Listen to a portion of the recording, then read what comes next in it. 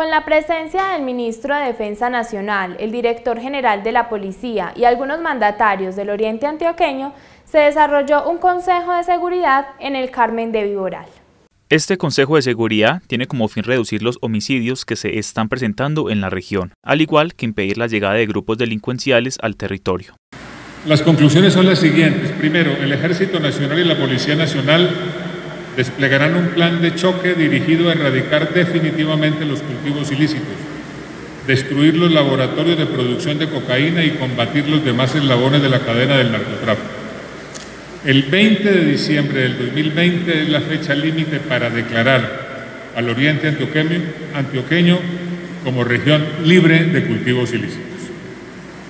Segundo, aunado a lo anterior, el Ejército Nacional dispone de una compañía de fuerzas especiales del Batallón contra el Narcotráfico para el desarrollo de operaciones de interdicción en el oriente antioqueño.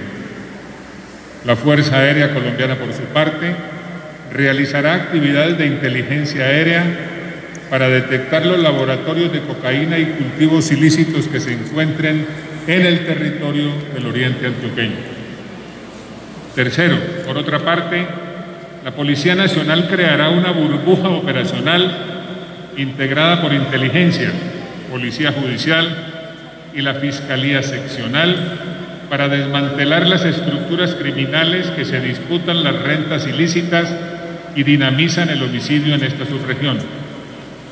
Cuarto, el Grupo de Operaciones Especiales de la Policía Nacional realizará intervenciones microfocalizadas en el oriente antioqueño contra el crimen.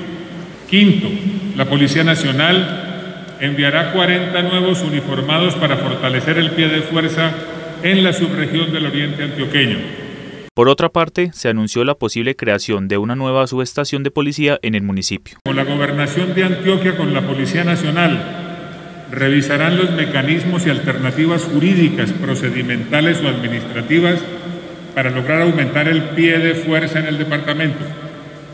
Octavo, en coordinación con la Gobernación de Antioquia, la Policía Nacional con un grupo especial ejecutará en los próximos días una intervención integral para la prevención y lucha contra la instrumentalización de niñas, niños y adolescentes en los municipios focalizados y de mayor afectación del oriente del departamento.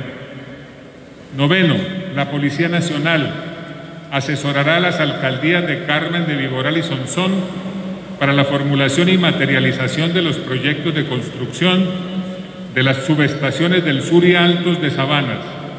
Asimismo, se acompañará el proyecto de construcción del CAI en el municipio de Marinilla.